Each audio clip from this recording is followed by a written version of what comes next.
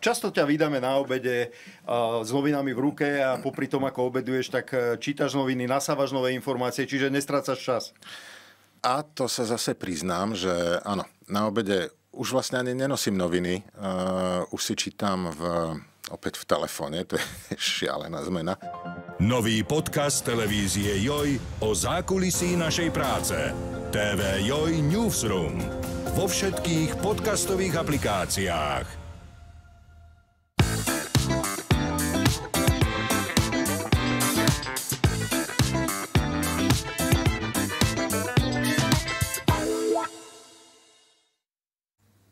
Dobrý deň, som Marcela Fuknová a toto je podcast o telesnom a duševnom zdraví. Viac informácií môžete nájsť na jojzdravie.sk.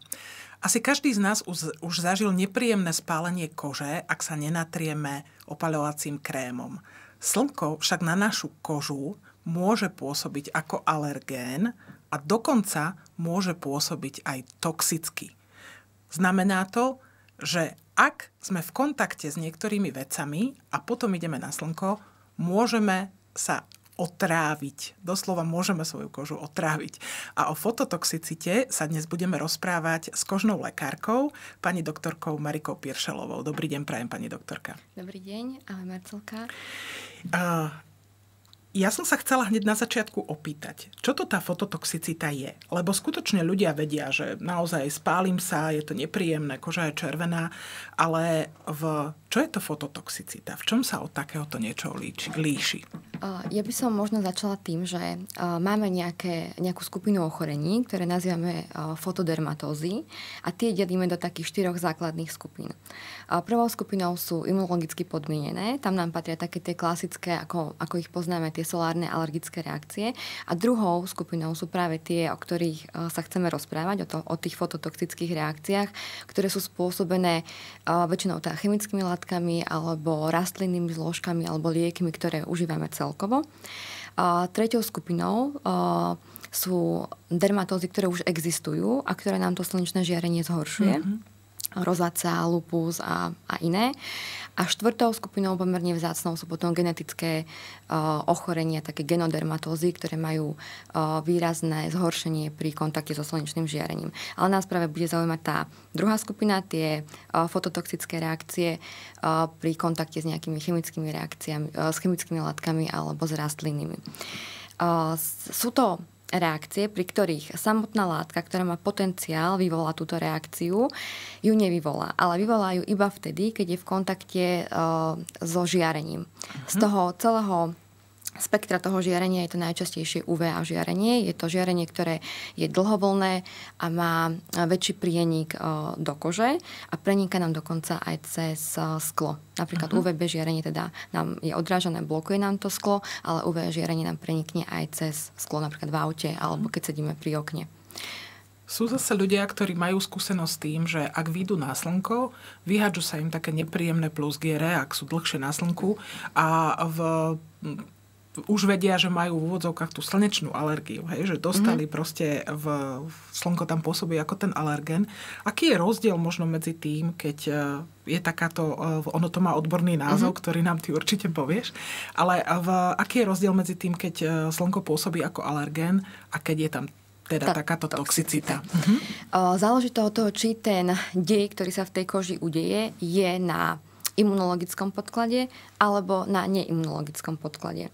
Všetky tie fototoxické reakcie sú na neimunologickom podklade. To znamená, že môžu postihnúť úplne kohokoľvek, či je to dieťa, dospelý, žena, muž, akákoľvek rasa a môže sa to udiať opakovane nezanecháva sa žiadna stopa, hojí sa to väčšinou takou hyperpigmentáciou, že zostáva nám tam nejaká taká tmavá škorna, uh-huh. ktorá sa vyhojuje niekedy až roky. Uh-huh. Uh, pritom, keď nám tam pôsobí naša imunita a jedná sa o imunologicky podmienenú, tak sú to buď reakcie, ktoré sú prvého typu, také rýchle, alebo sú to oneskorené reakcie štvrtého typu, tieto alergické reakcie a tie zvyknú recidivovať. Väčšinou uh-huh. sa vyskytujú u dospelých, máme ich aj u detí, ale ich pomerne menej, ale väčšinou sú u dospelých, pretože potrebujeme predchádzajúcu nejakú senzibilizáciu už s tým Už s tým alergénom. Jasné, to znamená, že naozaj je to tak, že skutočne ten človek, keď opakovane vyjde na slnko a má ten imunologický naozaj podklad potenciál. toho, mm-hmm. potenciál, ten alergický v podstate, tak sa to skutočne Áno. zopakuje a on má tie plus opakovane. A tuto pri tomto je to teda o tom, že musí niečo zjesť, musí sa niečím natrieť, alebo sa musí dostať do kontaktu s nejakou, e, s nejakou látkou alebo liekom. A môže sa to stať naozaj hoci komu z nás. Áno. Čo je teda ako e, by bolo v tom prípade asi naozaj dobre vedieť, že čo sú tieto veci, ktoré to môžu vyvolať. A ešte sa chcem opýtať, môžu to vyvolať u kohokoľvek, alebo, alebo teda u každého, kto, kto, sa, e, kto túto kombináciu teda na sebe vyskúša, alebo mm-hmm. len u niekoho? Ako to to je? Uh, ono záleží od uh, množstva tej fotosenzibilizujúcej uh-huh. látky, ktorú si napríklad natrieme alebo s ktorou prídeme do kontaktu. Záleží od vlhkosti tej kože, od prieniku do, tej, do tých našich kožných buniek a potom záleží aj od množstva toho UVA žiarenia, ktoré je tam prítomné. Čiže napríklad uh, ja by som jedla povedzme limetku a budem mať veľkú reakciu, pretože uh, mám atopickú kožu, uh, bolo by vonku povedzme vlhko, väčšie teplo, ako napríklad ty, ktorá by si bola povedzme schovaná v tieni a jedli by sme rovnaké jedlo, mm. hej, alebo pili by sme rovnaký nápoj. Jasné, čiže je to aj také, že za istých okolností sa nám to môže stať a za iných okolností sa nám to stať nemusí. nemusí. Mm-hmm. Ono je do, dokonca aj dokázané, že niektoré tie konkrétne vrátim sa k tej limetke, lebo ona má dokonca aj svoje vlastné pomenovanie toho ochorenia, pretože uh, limetka, dokonca tá kôra obsahuje 6 krát viac uh, tých uh, to sú tie fotosenzibilizujúce mm-hmm. látky. Čiže než furokumariny na... sa volajú. furokumariny sa volajú. Zložitý názov. Uh, ako napríklad uh, tá dužina. Uh-huh. A potom je ešte rozdiel dokonca aj medzi limetkami. Žltá limetka má podstatne, podstatne viac, uh, niekoľko stonásobne viac tých furokumarinov ako tá zelená, ako tá ktorú zelená. napríklad my uh-huh. častejšie poznáme. Mm, to sme si povedali o limetke. Ty si dokonca povedala, že ono existuje na to nejaké vlastné pomenovanie tohto mhm. ochorenia. Mm-hmm. Poďme si povedať, že v, čo sú to za látky, čo sú to za rastliny, čo sú to za podnety, čo sú to za jedla, čomu sa teda máme naozaj vystrihať, ak ideme na slnko, alebo neísť na slnko, ak také niečo konzumujeme, alebo sa tým natierame a tak ďalej. Poďme uh, si niečo povedať o tých Ja by som veciach. ešte, ak môžem, k tomuto mm-hmm. povedala, že uh, už vlastne starí egyptiania vedeli, že určité rastliny v kombinácii so slnkom vlastne spôsobia pigmentáciu. Snažili sa tak liečiť mm-hmm. vitiligo.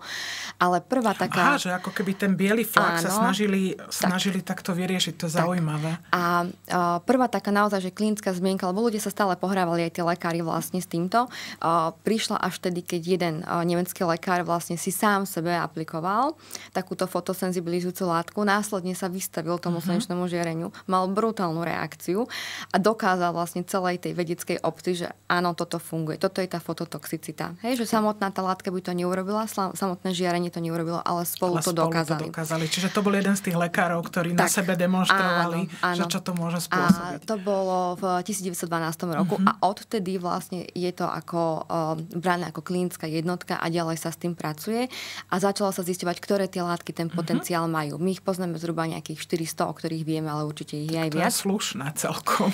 Takže sú tam nielen e, lokálne aplikované mhm. látky, uh-huh. ale máme aj e, celkové lieky, ktoré užívame, uh-huh. chemoterapeutika. E, ľudia už majú tak zafixované, že keď užívajú nejaké antibiotika, že nemôžu ísť na, na slnko. slnko. Hej? Uh-huh. Takže si to tak nesieme stále asi ešte od toho detstva.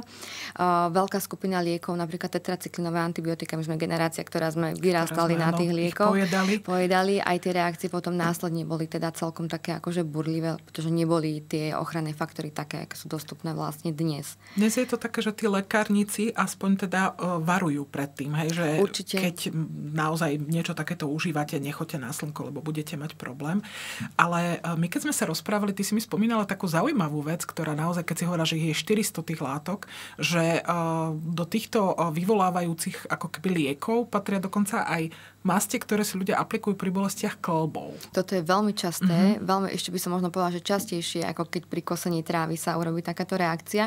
Natrusy na mm, klb, ja neviem, bedrový klb alebo ramenný, to, ktorý je častejšie vystavený tomu slnečnému žiareniu, alebo majú svalovicu mm. po cvičení natrusa neuvedomia si to a nemusia byť úplne na priamom slnečnom žiarení, pretože to UV žiarenie preniká aj cez mraky. A, a za nejakých 30 minút až do 120 minút je udávané vlastne uh, ten čas toho ožierenia, na základe ktorého potom môže vzniknúť tá reakcia. Ona není, že hneď, ona tam je to od 5 hodín až do 72 hodín, tá reakcia vlastne vzniká tak postupne. Ešte keď si to cvičenie spomínala, možno naozaj tá vlhkosť kože A je ešte problém. aj tá vlhkosť tej kože, presne tak. Hej, Takže, takže a sú- množstvo toho gelu, čím viac dáme, tým máme lepší pocit, že to rýchlejšie zaberie. Mhm. Čo také gely napríklad, e, v, ktoré sa používajú um, ako antihistaminika? Tie môžu spôsobiť tento problém? Väčšinou nie. Väčšinou ja nie. som si aj Mhm. akože pozerala tie, keď sme sa rozprávali, že či aj tie účinné látky by tam zohrávali nejakú úlohu. A väčšinou sú to tie, a nie tie pomocné, ktoré tam máme, ale máme tie, a, tú zložku je to látka, ktorá je schopná absorbovať ten fotón z toho svetla. Mhm. A väčšinou, o ktorých vieme, tak sú tie, ktoré sú tie účinné. Nie, sú, účinné nie sú to, alebo nie sú úplne preskúmané tie pomocné. To zase Jasné. nemôžeme tvrdiť, Mhm. že to nie, ale nie je to úplne preskúmané. Väčšinou vieme o tých uh, účinných látkach, o tých že účinných priamo tie pôsobia Mhm. ako toxín v, ko- v kombinácii so slnkom. Oni totiž to príjmú, tá látka je schopná príjmať fotón z toho Mhm. svetla a následne to na tej molekulárnej uh, úrovni tam dôjde k tomu, že ten fotón nám preskočí do takej vyššej energetickej hladiny, spustí sa tam celá kaskada takých oxidačných procesov, ktoré v konečnom dôsledku vedú k tomu, že tie naše kožné bunky sa poškodia. My to klinicky vidíme ako začervenanie, vidíme tam plus gier, alebo naozaj to môže imitovať aj popáleninu. To som sa chcela opýtať, lebo um, my dve sme mali nedávno kontakt Áno. kvôli môjmu synovcovi, ktorý skutočne túto fototoxickú reakciu mal na tvári Mhm. a bolo to desivé. On naozaj mal plus giere, e, škaredé, skutočne vyzeralo to, vyzeralo to divne. Ono to vyzerá veľmi dramaticky, aj tie prejavy sú také bizarné. Nezapadá nám to do žiadneho takého toho koloritu, erizipelu, herpesu. E, Môže to imitovať, ale niečím sa to vyniká. Hej, vzniká to pomerne rýchlo, je tam výrazné pálenie, my subjektívne to pociťujeme, tieto molekulárne, molekulárne prejavy ako, ako pálenie, hej, že nie je to vyslovene to, to svrbenie ako pri alergických reakciách, ale to páli, boli. A, uh, to záleží... vyslovene bolí, Boli, podľa boli, toho, no. Uh, lebo je tam už poškodený ten kožný kryt, už tam máme o, odhalené tie erózie na tej tvári, uh, z ktorou, ktorá je dynamická časť, takže ono na tej tvári toho synovca to určite bolo, bolo to veľmi nepríjemné. A najvyššie to vyzerá, uh, Vyzerá veľmi, to, vyzerá to vyzerá to strašidelne. Dramaticky naozaj. Keď sme teda v, hovorili o tých jedlách, hovorili sme o tých limetkách. Čo ešte? Čo je také, že na čo si dať pozor? Uh, z týchto spotravín leto. zeler. Mhm. Hej, Zeler. zeler. Zeler je úplne v tomto akože pre mňa úžasná potravina, čo ona dokáže. Jednak Aj rozli- stopkový, alebo len tá bulva? Vieš čo, dočítala aj stopkový určite, ale tá, čo má tú bulvu a tú, tú vňať, takže ten, Takže to je problém. ten zeler dokonca uh, bol popísané, že jedna pani, ale nebolo to už potom dokázané ďalej, ale určitá pani uh, vypila šťavu z tohto zeleru, v hodno, nejakého pol kila toho zeleru tam Mhm. bolo, následne šla do solária a vlastne mala neskutočnú celotelovú proste reakciu, ktorá imitovala naozaj akože popáleninu celého tela. Ale skôr sa potom dokázalo to, že uh, ten zeler uh, v tej vňati má niekoľko násobne viac tých furokumarínov, než napríklad v tej bulve. Takže všetci pracovníci, ktorí pracujú s tým, že skladujú ten zeler Mhm. alebo ho nejakým spôsobom ošetrujú alebo odrezávajú tie, tie stonky, uh, tak sú oveľa viac vystavení uh, týmto, týmto reakciám, pretože je to na tých oblastiach, s ktorými vlastne pracujú. Takže mali by tam byť ochranné rukavice.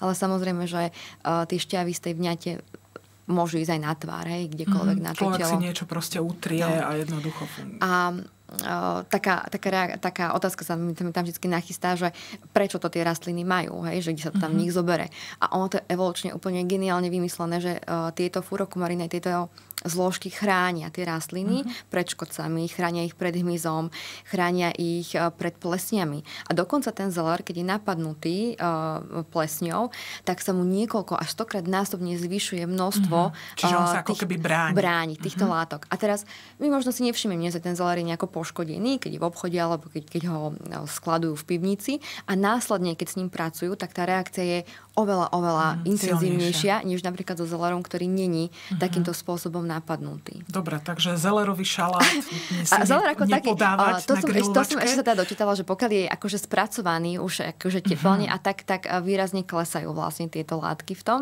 Ale za zeler máme aj silný potravinový alergén, to zase akože Že z, z druhej strany. mhm. Ale akože pre mňa je to fascinujúce potrebujúca ten, ten zeler v tomto, v tomto Tak ale ja zase viem napríklad o šalate, e, ktorý sa dáva ku grillovanému mesu a ide do ňoho surový zeler, čiže, čiže dobre. Umývať vedieť. ruky, hej, tam potom naozaj treba, uh, keď pracujeme s takýmito uh, senzibilizujúcimi látkami, dôkladne si tie ruky umyť čím skôr. Dobre, tu sme povedali zeler. Ďalšie veci, ty Ďalšie- si spomínala tú limetku. To Čo je tam limetka, problém? to je Dužina ako- alebo kôra? Uh, tá kôra. Uh-huh. Tam je choroba barmanov, limetková choroba. Choroba barmanov. Áno, áno, áno. A väčšinou je to tá popisované uh, v teplejších krajinách. U nás to není možno až také Čiže rozšírené. niekto v tom plážovom bare a robí s tými limetkami. Tak, mochita a podobne. Mm-hmm. Takže to a dokonca aj ľudia, ktorí, uh, ak tá šťava je na okraji toho pohára a pijú to, tak dokonca vlastne je popisovaná aj taká cheilitida, takže okolí mm-hmm. úst, o, ústne kútiky sú postihnuté a tak. A potom ešte taká zaujímavá potrebná je ľubovník bodkovaný, uh, ktorý pôsobí aj ako, ako Antidepresívum, býva veľmi často Ale aj v ona čajových interaguje s zmesiach. liekmi. Áno, Často, on má, že veľmi, lekárnici na to upozorňujú. Veľmi často má aj tieto interakcie, lebo sa metabolizuje cez ten istý cytochrom ako veľa iných liekov. A tuto existuje aj také ochorenie, to možno zase z veterinárneho lekárstva, kedy niektoré mm, dobytok môže pojesť ten ľubovník a následne, keď je celý čas na tom slnku, tak sa mu urobia tieto kožné prejavy. Uh-huh. Hej, takže hypericizmus sa to volá. Tak on má tiež toto ako obranný mechanizmus, ale má to skôr pred hmyzom alebo pred takými drobnými škodcami, ktoré si potom rozmyslia, že ne- nepôjdu už na túto rastlinku. Jasné, že proste im to vôjde nejako geneticky do toho, tak, do tak toho je to tam, vedomia, že, že, že už potom. To, to nie je dobrý nápad. Uh-huh. A potom z takých tých, úplne z tých burín, s ktorými uh-huh. sa stretávame, a to býva veľmi často, to je bolševník. Bolševník. Bolševník je uh, tiež mimoriadne inteligentná rastlina. popáliť, Naozaj. Tak on eh, bol dovezený z Kaukazu, uh-huh. proste ako, o, ako, odolný. ako, ako ochrana, nie ako ochrana, oni ju ako dali ako okrasnú rastlinu, pretože vyzerala pekne, ale ona má mohutný koreňový systém, uh-huh. dosahuje 2, 5, 2 až 5 metrov, 20 tisíc semienok je z jednej rastliny, hej, tá klíčivosť je 7 rokov, čiže vyhubiť je skoro nemožné, Nemožné. takže ona je Mhm. naozaj že skoro všade.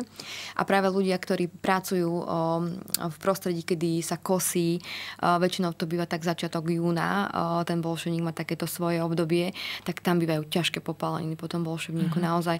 A to preto by sa malo kosiť v odeve. Mali by sme byť čo najviac zakrytí, pretože vy neviete, či on tam niekde nie je už vlastne rozrastený. Treba, Mhm. treba, treba s ním počítať. Ja by som sa možno ešte vrátila k tomu ovociu, pretože u toho môjho synovca my sme tak spoločne vtedy dedu- dedukovali, že to bola šupa z melóna. Mhm. To znamená, že dieťa je melón Áno. a oblizne aj tú šupu. A v melón je teda takisto problém, môže byť? Tak môže, určite. Mhm. Uh-huh. Ako není vyslovene medzi tými úplne, uh, ako je napríklad pomaranč, alebo medzi týmito rastlinami, To ale, citrusy áno, teda? ale treba tam možno, že rátať aj s tým postrekom tej melónovej uh-huh. šupy. Hej, že Mhm. Na to, som možno, sa že... chcela opýtať, že či aj toto nie je problém. Aj toto, aj toto určite. Ja som ti už spomínala, že mám mm, takú chvíľku, že umývam teda aj pomaranče, aj citróny, aj všetko, uh, pretože mám uh, z tohto, z tohto obavu, z tých postrekov, pretože zober si, že musí mm, prežiť tú cestu, Mhm. uh, to ovocie vlastne až ku nám stále by bolo zachované čerstvé, takže ono keby nebolo striekané, tak veľmi ťažko prežije niekoľko dní niekde na lodi alebo tak. Čiže my keď rátame s tým, že toto dieťa zoberie do ruky alebo čokoľvek, teda možno, že naozaj zje aj kúsok tej šupy alebo ju oblizne, v, pomôže to, že to umieme? Stačí to? Určite. A Stačí. Všetko, Mhm. Stačí. Stačí. E, Takto, ja aj šúpem. Ja keď dávam do nejakého Mhm. drinku alebo tak, tak ja šúpem tie, tie citrusy, ale určite to pomôže, keď sa dobre vyumýva. Sú špeciálne mydlá, ktorým to dokáže, lebo čistou vodou to nestačí. Čistou vodou to Sú, sú nestačí. špeciálne Mhm. prípravky na to ovocie, ktoré nám dokážu rozložiť uh, ten chemický obal, ktorý je na tom. Skutočne na tej- existujú špeciálne prípravky na šupy ovocia? Mhm, To Áno, je- existujú, To existujú. je dobre vedieť, lebo naozaj niekto, keď to chce použiť, dajme tomu aj do koláča alebo do Jasné, niečoho. jasné, alebo chceš nastruhať tú kôru, takže sú špeciálne to dá. prípravky na to. Mhm. Pomerne mm, vôbec nie sú nejaké drahé položky. O, v, takže spomínali sme, že spomínali sme zeler, spomínali sme citrusy, spomínali sme melóny. Ešte nejaké jedlo? O, čo ešte také... Mm, Alebo teda toto sú také tie, na toto ktoré sú si asi treba také, pozor. čo, s ktorými sa tak najčastejšie že stretávame a majú také tieto svoje pomenovania. Na ich 400 druhov, takže určite by sme, že by sme vedeli, vedeli by sme nájsť. Uh, Ešte by som možno podotkla to, že uh, o tých celkových antibiotikách alebo o tých chemoterapeutikách, uh, ktoré vlastne sa používajú, tak je rozdiel, či my to iba natrieme na tú kožu a po, pôsobí to v tej povrchovej vrstve e, tej kože, alebo my to zjeme a tou krvnou cestou, ako keby zo spodu sa dostane do tej kože, tak aj tá reakcia je potom samozrejme um, horšia, keď to je ako celotelové postihnutie, lebo tú kožu máme jeden orgán, nemáme kožu tváre, ruky, nohy, ale pri tomto ako vnútornom požití je aj ten nález výrazne dramatickejší, než napríklad, keď je to natreté len lokálne. Uh-huh. Čiže ako keby naozaj, že keď to zjeme a dostane uh-huh. sa to mhm. do krvi, uh-huh. je to väčší problém, lebo to pôsobí celkovo.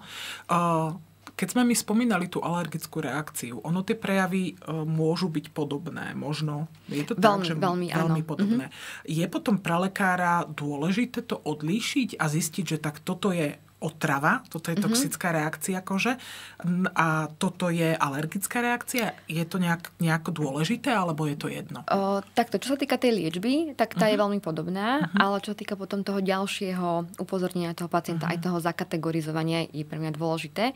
O, o, či to bol fototoxický alebo fotoalergický typ tej reakcie. O, takže na základe tej anamnézy sa snažíme zistiť, že či to nastalo hneď niekoľko minút, potom osvietený tým slnkom, či to bolo niekoľko hodín, či to páli alebo to srbí, to sú moje mm-hmm. najzákladnejšie otázky, pretože pri tom pálení už ma to ťahá na tú fototoxicitu. A potom zistujeme, čo robili, čo jedli. To bolo to, čo som sa aj teba pýtala, že možno sú také otázky, že čo ma to zaujíma, ale je to pre mňa veľmi dôležité z toho anamnestického hľadiska. A potom pri tých fotoalergických reakciách musíme rátať, že tam dochádza aj k nejakej recidíve. Uh-huh. Keď máme takú tú polymorfnú svetelnú erupciu, to sú také tie najčastejšie, čo uh, také tie naše ako, tie Taká, alergie na slnko. Alergia na slnko, áno. Ktorá, a napríklad táto vzniká najčastejšie u mladých žien, teda uh-huh. je mhm. popisovaná. A uh, tam nám dochádza k reakcii tej, uh, toho oneskoreného štvrtého typu. Takže je tá reakcia hneď hneď, Treba to niekoľko hodín. dní na Áno, áno, a potom, a potom zrazu... sa to, to, to stalo, sa, stalo sa toto aj mne. Zažila som si túto polymorfnú svetelnú erupciu. Je to veľmi nepríjemné, mm-hmm. svrbí to a recidivuje to viac menej celú tú dovolenku. Koža potom na konci leta už tak zhrubne, zvykne si a vieme tomu predchádzať napríklad antihistaminikami. Takže ja keď viem, že mám pacientky, ktoré týmto trpia, tak ja už preto dovolenkou si ich viem nastaviť tak, aby to bolo relatívne v pohode. Mm-hmm. Čiže možno, že toto sú také základné veci, na ktoré naozaj že, uh, treba myslieť, že keď na to slnko ideme, musíme rozmýšľať aj nad tým, čo zjeme, musíme rozmýšľať aj nad tým, kde sa pohybujeme a s čím sme v kontakte. Uh, v je, keď si hovorila, že teda tá alergická reakcia ohrozuje skôr tie mladé ženy, pri tejto fototoxicite, teda v kombinácii naozaj s nejakou látkou. Uh, ohrozuje to viac dospelých alebo deti? Ty si spomínala, že kohokoľvek. Uh, je to, alebo keď sa dostane dospelý s dieťaťom naraz do, do tej istej situácie, môže to ohroziť viac dieťa? Ty sa stretávaš v ambulancii viac s dospelými alebo s deťmi? Je to tak jednak jednej. Mm-hmm. Mám, mám väčšinou to už rodiny. Že to mm-hmm. už ako, že... Čiže môže to postihnúť naraz viacerých ľudí? A samozrejme, keď sú napríklad na pikniku, zoberte, mm-hmm. že budú v tráve, kde napríklad nemusí tam byť zrovna bolševník, bude tam hociaká iná fotosenzibilizujúca látka, ale to dieťa má menší povrch toho tela než ten dospelý. Takže keď to dieťa uh, sa bude hrať v tej tráve a budem tam hrať ja, kde tá tráva mi bude pokolená, tak tie moje prejavy budú, ak teda nastanú, tak budú v tej oblasti dotyku uh, tej látky zo uh, koža a slnka, ale to dieťatko môže byť až pokrk napríklad v tej uh-huh. tráve, takže samozrejme, že tie prejavy potom následne budú dramatickejšie u toho dieťaťa. na väčšej časti na väčšej časti uh-huh. tela a tým pádom um, aj to postihnutie, aj tá liečba bude trošku zložitejšia. Uh, spomínali sme liečbu. Ako sa takáto fototoxická reakcia lieči? tá fototoxická, ona ti odoznie aj sama. Hej, uh-huh. akože aj keby sme nič neurobili, keď sa zabraní kontaktu s tým, s tým alergenom, človek odíde z toho slnečného žiarenia, tak do dvoch týždňov si dovolím tvrdiť, že sa to kompletne vyhojí potom tou hyperpigmentáciou, ale je to veľmi nepríjemné, je to veľmi otravné. Um, máme porušený kožný kryt, hrozí nám tam sekundárna infekcia, či už bakteriálna, nejaké impetigo, alebo vírusová, nejaká herpetická. Nepotrebujeme to, takže potrebujeme uh, tú kožu zahojiť čím skôr. Takže používame uh, lokálne kortikoidy, niekedy v kombinácii aj s antibiotikmi lokálnymi, celkovo antihistaminika. Ja, keď je tá reakcia dramatická, ja zvyknem dávať aj kortikoidy celkovo, prípadne infúzne, keď je to veľmi dramatické alebo len muskulárne. Takže to je taká tá prvá pomoc. Uh-huh. A potom už domáca starostlivosť. A v, čo sa týka napríklad nejakého ďalšieho vystavovania sa slnku, najmä keď majú ľudia, že naozaj, že malé deti, ktoré majú tento problém, sa im toto stane, v chrániť ich pred tým slnkom úplne. To znamená, tak, že nikam tie, s nimi tie neísť. deti určite áno. Ako uh-huh. ja som u detí zástancov tých minerálnych uh, filtrov, uh, čo týka tých opalovacích krémov aby sme minimalizovali uh, tie chemické faktory, ktoré na tú kožu dávame. Uh, samozrejme, oni môžu chodiť vonku, deti neudržíme doma, mm, hlavne v lete. To, kvôli tomu som sa chcela opýtať. Ale to ako v tej, v tej akutnej fáze nejaký aspoň kožný kryt uh, tam dať, nejaké dlhšie tričko alebo niečo také príjemné na tú kožu. A um, asi by som nešla na kúpalisko s takouto akutnou reakciou, že nechala by som to naozaj že v takej kľudovej fáze doma. No a potom oni môžu, samozrejme, lebo to odoznie, takže len treba na to dávať pozor. Mm-hmm. Už iné by to bolo, keby sme mali dieťatko, ktoré je uh, fotoalergické, tak tam nám to naozaj môže uh, zhoršovať uh, každý ten pobyt na tom slnku, že sa to za každý môže objaviť. Mm-hmm. Ale sú to výnimočné prípady. Hej, jasné, že, že sa to stane a rovnako podľa mňa a aj to, čo si spomínala, tí ľudia, ktorí majú uh, nejakú dermatitidu vyplývajúcu z nejakého ochorenia, zrejme vedia, že mm-hmm. ísť na slnko nie je dobrý nápad v ich prípade. Uh, čo sa týka toho, že um, v, hovorili, sme teda, uh, hovorili sme teda o liečbe, vznikne hyperpigmentácia, si povedala. Uh-huh. V, keď je to na tvári, dajme tomu pre ženu, to môže byť naozaj nepríjemné. Je to dá veľmi sa, nepríjemné. Dá sa uh-huh. ešte tohto nejako zbaviť? Viete vy aj s týmto pomôcť, to, ako kožní lekári, um, s tými hyperpigmentáciami? Je to veľmi zložitý proces. Uh-huh. Je to veľmi zložitý proces, nakoľko uh, v tej koži sa naštartujú také procesy, ktoré nám dvíhajú určité enzymy, ktoré sú zodpovedné za za tvorbu mm-hmm. toho tmavého pigmentu. A máme laserové ošetrenie, máme chemické peelingy, máme intenzívne pulzné svetla, frakčné lasery, sú možnosti, ale nič je úplne 100%, mm-hmm. čo mhm. týka tých pigmentov. Takže nemôžem A je tam to slúbiť... iný flak, ako keď sú tie v úvodzovkách fľaky zo slnka? Je to trošku iný flak. Mm-hmm. Je to trošku iný flak, možno trošku ťažšie odstraniteľný. Mm-hmm. Ale v princípe nám, a tie, tie lasery nám aj fungujú na tom, že vychytávajú sa v tom hnedom farbive alebo v tom červenom. Takže ten princíp je veľmi podobný, akurát tie nastavenia a ten protokol toho ošetrenia je trošku iný, ale v končnom dôsledku, keby iným softverom sa do, chceme dostať k rovnakému mm-hmm. výsledku. To znamená, že potom skutočne záleží na tom, aby sme zistili, že čo to bola za reakcia, Je to, je to celkom akože zaujímavé a ľudia to aj chcú vedieť. Uh, takže väčšinou spolu pátrame, alebo oni si potom mm-hmm. doma premyslia, uh, sa tak späť spätne vrátite aj podľa fotiek, že čo ste robili, čo ste pili a tak väčšinou na to aj prídeme, že zhruba čo tam bolo, neprídeme, pokiaľ je tam ten piknik v tej tráve, mm-hmm. tak nezistíme, ktorá tá tráva alebo tá bylina to bola. To Ale čo týka toho jedla, tak väčšinou na to potom spoločne mm-hmm prídeme. Sú aj nejaké nápoje, okrem možno nejakých džúsov? Ale... Tak tie zelerové napríklad. takže, Našťastie zeler nepije až toľko ľudí. Mm, takže určite, ale muselo by tam byť naozaj veľké množstvo, uh-huh. lebo tá mhm. limetka je skôr na tej lokálnej báze, Hej. než napríklad, ako, ako, ako to by sme museli vypiť naozaj veľké množstvo, aby dokázala ona cez tú krvnú cestu preniknúť, uh-huh. lebo tam musí byť aj tá schopná, schopnosť preniknúť do tých buniek tej kože. Čiže toho limetkového džusu sa až tak bať nemusíme. Nie, toho by som, toho by som sa nebala bála. Skôr by som sa naozaj bála tej čerstvej, mm-hmm. tej čerstvej limetky roz, rozkrojenej. V, ja ďakujem veľmi pekne za zaujímavé informácie a veľmi užitočné podľa mňa v tomto čase a v lete. V, a teda eh, všetkým nám želám, aby nám slnko nerobilo zle, aby sme sa pred ním dokázali chrániť, aby sme naozaj mysleli aj na látky, ktoré v súvislosti s ním môžu spôsobiť, že to slnko bude toxické pre nás. Ďakujem pekne za Ja ďakujem, ja ďakujem veľmi pekne.